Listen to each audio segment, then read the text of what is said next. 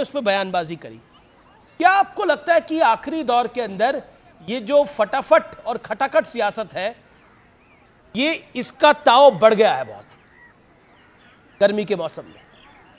अमिश देवगन जी, अमिश देवगन जी, ये सातवें फ़ेज़ का चुनाव है और इसमें जिन शब्दों का इस्तेमाल जिन लोगों ने किया है, जिनके लिए भी किया है, बातें सही होंगी तभी किया है। आपको याद दिला दूँ कि बिहार में एक बहुत मशहूर चारा घोटाला हुआ था। उसमें एक बहुत मशहूर हीरोइन का ज़िक्र आया था कि वो बिहार आई थी मुजरा करने के लिए। किन लोगों ने बुलाया था, उस समय के समाचार पत्रों ने इसको छापा भी था। मैं उस इतिहास पे बहुत ज़्यादा नहीं जाऊँगा, लेकिन ये जो परिवारवादी पार्टियाँ हैं, तेजस्वी यादव जी, राहुल गांधी जी, ये तमाम पार्टियाँ एक दूसरे का तलवा चाट रही हैं, चटाचट। तो जनता ने इसको कहा, चल, हट हटा हट हटा हट तो चार जून को ये हट जाएँगी। अब आते हैं कि कंचना यादव जी या शाहजाद पुणे वाले ने मुजरा शब्द का अलग से अर्थ बताया जो मुझे जानकारी नहीं थी उसकी वजह से। कंचना यादव जी ओबीसी आरक्षण को लेकर के जो बात कर रही है वहाँ तक तो ठीक है कि ओबीसी आरक्षण में भारत के सभी वर्ग संप्रदाय जो OBC socially economically backward class हैं उनको आरक्षण है। जी। लेकिन कांग्रेस की सरकार ने पहली बार बनाया एक रंगनाथ मिश्रा कमीशन। रंगनाथ मिश्रा कमीशन ने कहा कि मुसलमानों को अलग से 10 प्रतिशत आरक्षण देने की ज़रूरत है। और 2014 के चुनाव के ठीक पहले सलमान खुर्शीद कानून मंत्री थे। कांग्रेस की पार्टी ने चार प्रतिशत अलग से आरक्षण दिया मुस्लिम संप्रदाय को जिसको सुप्रीम कोर्ट ने यह कहते हुए खारिज किया कि धर्म के आधार पर इस देश में आरक्षण नहीं हो सकता। ठीक है जवाब ले लेते नरेंद्र मोदी जी और एनडीए नरेंद्र मोदी जी और एनडीए सरकार का तो एक स्पष्ट मान्यता है सबका साथ सबका विकास। अल्पसंख्यक के विकास के लिए जितने फंड थे नरेंद्र मोदी सरकार ने उसको बढ़ाया है। ये अससुद्दीन ओवैसी जी का खुद का बयान है संसद में कि नरेंद्र मोदी जी की सरकार फराज किदवाई से जवाब लेते हैं समाजवादी पार्टी के नेता है फराज किदवाई उसको रोका नहीं। ओके फराज किदवाई फराज किदवाई की बारी है। Satyaprakash ji you made you point Satyaprakash ji you made you point Faraz Kidwai Amish ji अगर गलती से भी भारतीय जनता पार्टी की सरकार इस देश में तिबारा आ गई तो ये लोग पिछड़ों और दलितों का आरक्षण खत्म कर देंगे, फटाफट फटाफट फटाफट।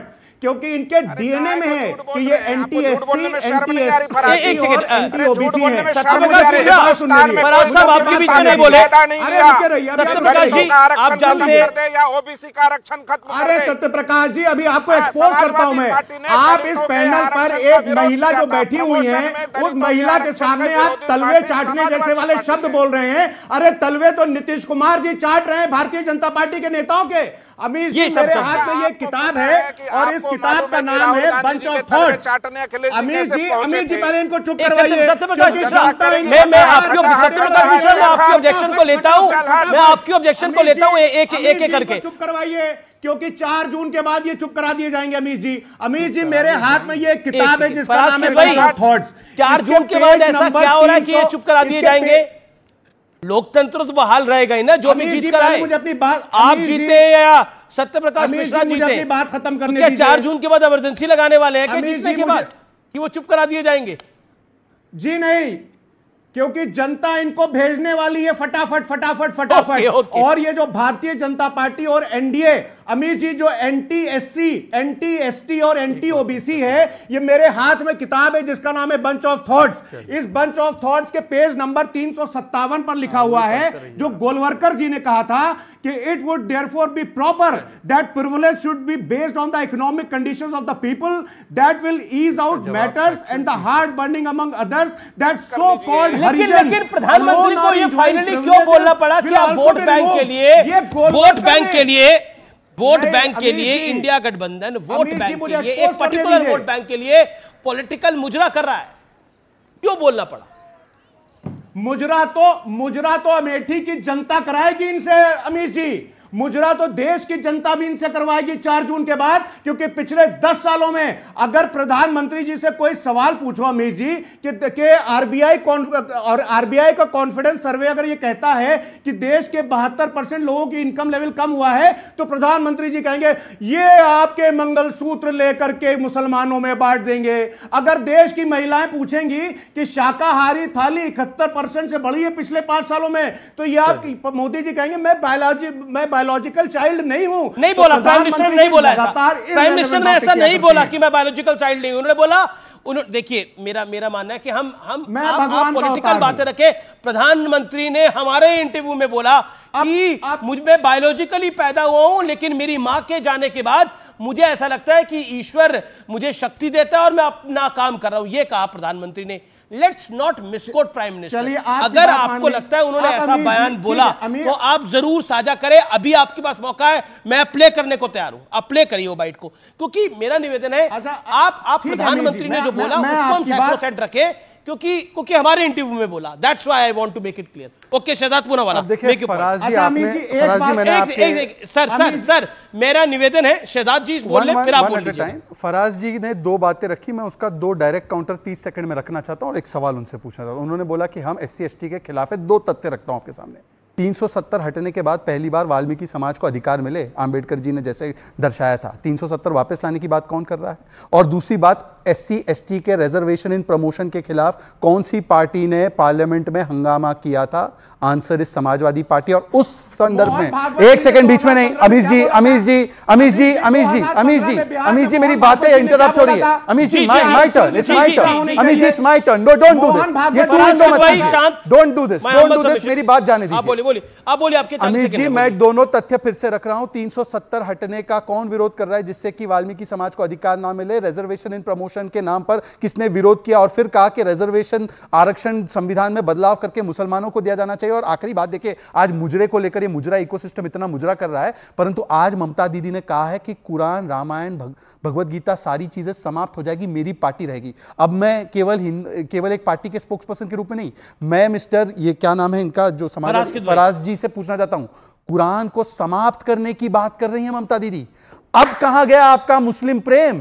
अब तो बताओ मुस्लिमों को वोट बैंक के रूप में फराज जी उन्होंने कहा फिराद हकीम ने आके माफ़ी मांगी। तो ये पूरा ऑन रिकॉर्ड है। मैं झूठ नहीं बोला अमीर जी झूठ बोलो अभी शो से बाहर कर देना क्योंकि बड़ा सेंसिटिव इशू है। मैं आज पूछना चाहता हूँ as a Muslim as a भारतीय मुस्लिम मैं पूछा अमीर जी दस सेकंड एज ए में भारतीय मुस्लिम दस सेकंड में अपना सवाल फ्रेम कर दू। केवल दस सेकंड फराज जी एक बार बताइए समाप्त हो जाएगा। ये कोई भी व्यक्ति इस स्टेटमेंट को सपोर्ट नहीं कर सकता। आप बताइए समाजवादी पार्टी का स्टैंड ओके फराज के किदवई